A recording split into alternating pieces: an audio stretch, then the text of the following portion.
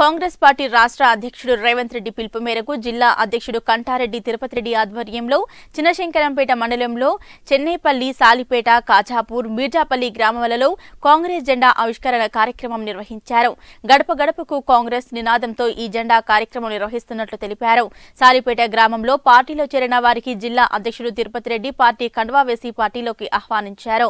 అనంతరం కాంగ్రెస్ పార్టీ మండల అధ్యక్షుడు పోతరాజు రమణ టీపీసీసీ రాష్ట్ర కార్యదర్శి సుప్రభాతారావు కాంగ్రెస్ పార్టీ జిల్లా అధ్యక్షులు తిరుపతి రెడ్డి మాట్లాడుతూ మెదక్ నియోజకవర్గం గత కాంగ్రెస్ హయాంలోనే అభివృద్ధి చెందిందని టీఆర్ఎస్ పాలనలో ఎలాంటి అభివృద్ధికి నోచుకోలేదన్నారు. ఈ కార్యక్రమంలో కాంగ్రెస్ పార్టీ జిల్లా అధ్యక్షులు తిరుపతి రెడ్డి టీపీసీసీ రాష్ట్ర నాయకులు సుప్రభాతారావు బ్లాక్ కాంగ్రెస్ అధ్యక్షులు రమేష్ రెడ్డి మండల కాంగ్రెస్ పార్టీ అధ్యక్షులు పోతరాజు రమణ ఎంపీపీ ఉపాధ్యక్షులు సత్యనారాయణ గౌడ్ ఎంపీటీసీల ఫోరం మండల అధ్యక్షులు శివకుమార్ వివిధ గ్రామాల ఎంపీటీసీలు సర్పంచ్లు పాల్గొన్నారు.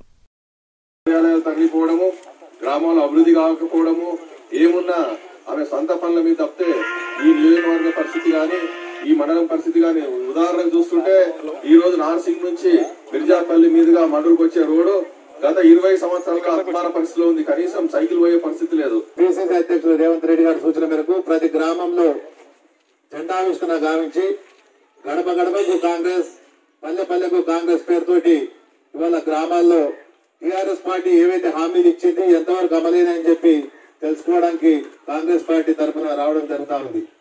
ఇవాళ గ్రామ కమిటీలు వేయడం గ్రామాల్లో ప్రజలను అడిగి వాళ్ళ యోగక్షేమాలు తెలుసుకోవడం కాంగ్రెస్ పార్టీ ముఖ్య ఉద్దేశం.